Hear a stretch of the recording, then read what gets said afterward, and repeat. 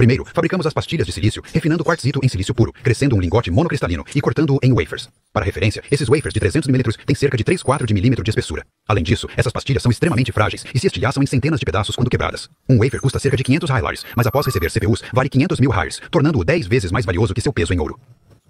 Agora, vamos às etapas após a fabricação do chip. O wafer pronto vai para outro prédio onde cada CPU passa por testes rigorosos para verificar seu funcionamento. Se a CPU funciona, ótimo, mas frequentemente um defeito danifica parte do circuito integrado, tornando essa seção defeituosa. Esses circuitos semifuncionais são então categorizados, ou agrupados, com base no que ainda funciona. Esses processadores Intel de 13ª geração são vendidos como i9, i7, i5 ou i3, conforme o número de núcleos funcionais, com linhas de CPUs de gráficos integrados defeituosos. Esses wafers são levados a outro prédio, onde os chips são cortados a laser, virados e colocados num interposer, que distribui os pontos de conexão para uma placa de circuito, enquanto uma tampa protetora condutora de calor é posta atrás. A placa de circuito contém a matriz de contatos para a placa-mãe, além de vários componentes elétricos. Depois, um dissipador de calor é montado em cima, e todo o conjunto é testado uma última vez antes de ser embalado. Por fim,